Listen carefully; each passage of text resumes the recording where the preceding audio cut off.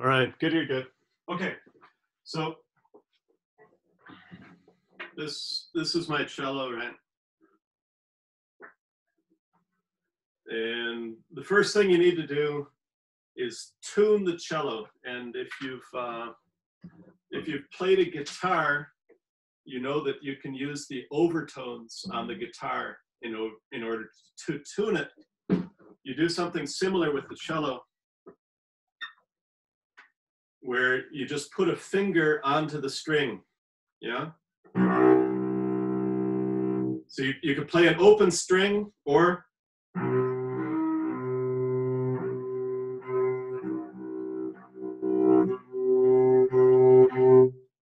you put a finger in the middle and then that stops the vibration right at the center of the, of the string. And when you do that, you get an overtone. So it's an octave above the fundamental, right?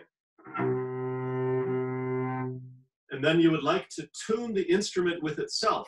And so, you know, there's different strings.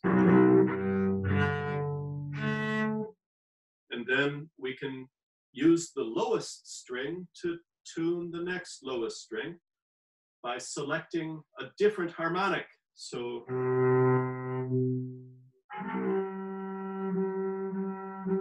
so I put my finger in a different a different place there, right?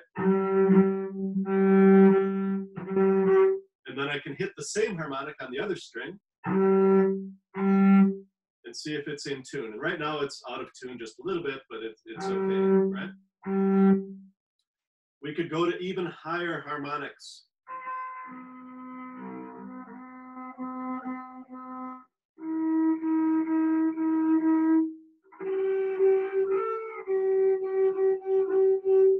So you see there's a whole series of notes there from, from the bottom up to the top. Now,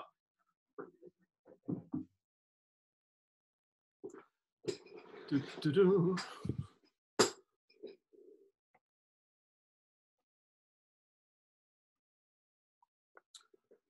What's going on there?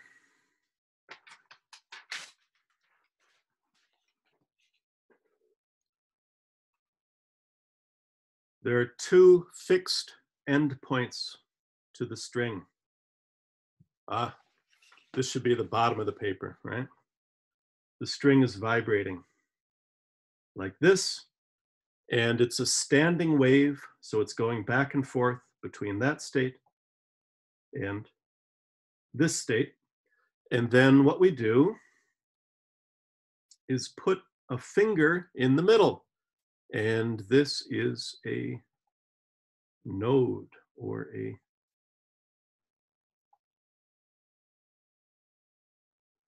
Knotenpunkt that we put into the middle. And then the wave just goes like this. And then the other state of this is just going like that, right? So it's going back and forth. And then we hear the higher note. And then you can move your finger even further. And then you're adding even another node into it. And you get something like this. And you can do that again. Doot, doot, doot, doot, doot. And you get something. And so musicians will know about something called the harmonic series where you're going through all of these notes in a sequence. You might have a frequency. You could have twice the frequency.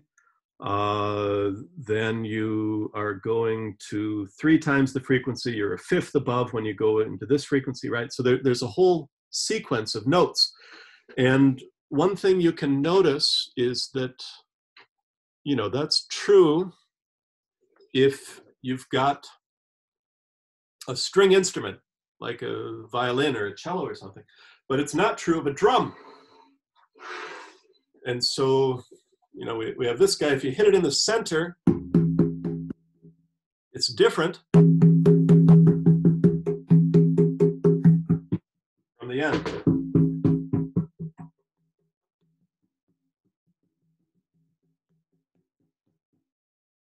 And it doesn't sound harmonic the way that the that the string instrument does. The string instrument, all of these line up in a chord, and and it's very nice and harmonic and everything. It's not true of the drum. If you hit the bongo drum in the center, it's a very deep sound. If you hit it near the edge, it's a much higher sound, right? So we can go over here again.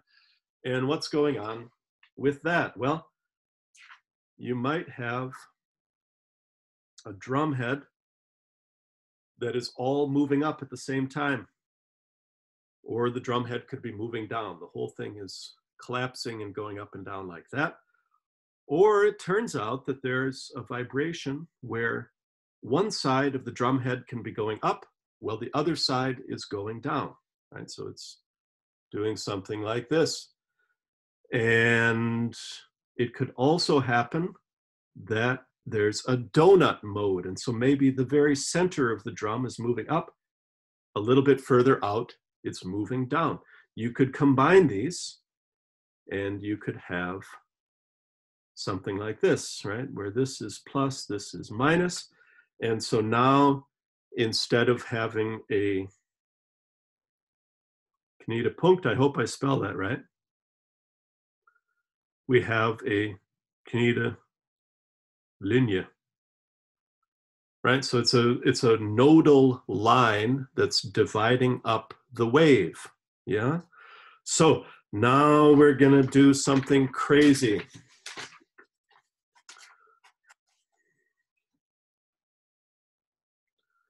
We've thought about a one-dimensional musical instrument, right?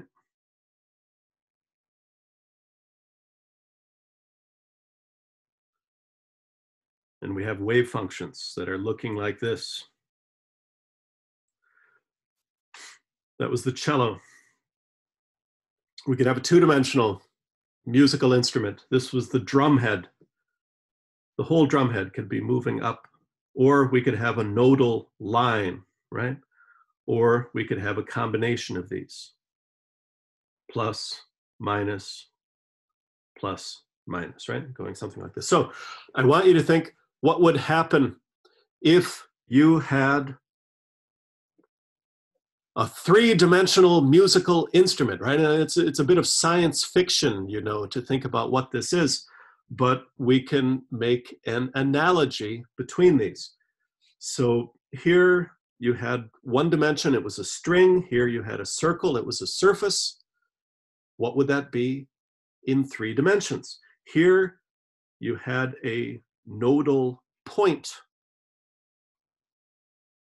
Here you had a nodal line, right? Here you're going to have a surface that divides the different parts of the wave. And so if we if we go from this 1D to a circle, you might think that you end up with a sphere over here, right? something like this, something round, a nice sphere. And then you ask, what is the, the dividing surface when we go to the excited state? Well, maybe it's just a plane, right? So we just have a plane, something like this.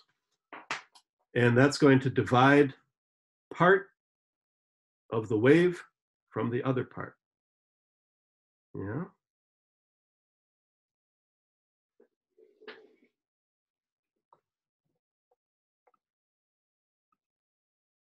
Have you seen that before? Have you seen it before?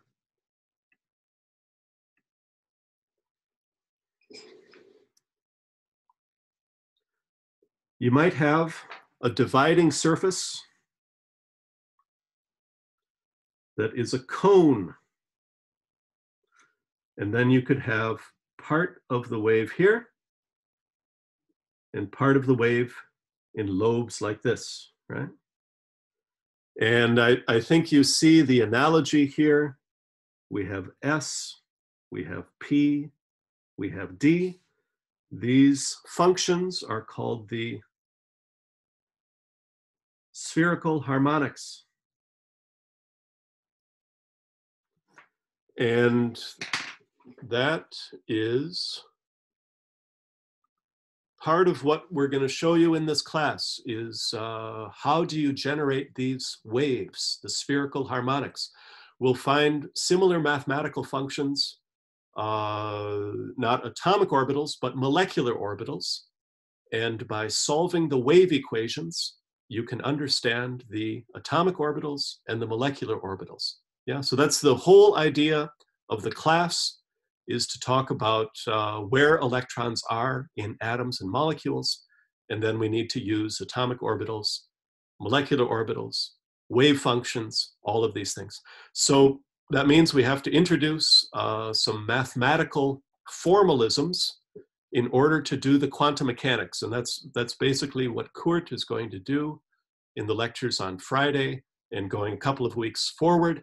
And then I'll jump back in and we'll see uh, how we extend these ideas and how we use them in uh, things like lasers and uh, electron storage devices and a lot of the different applications. So I will say thank you to everyone for today and looking forward to, to a very nice session of Chemi Bin with everyone. So goodbye. Thank you for today.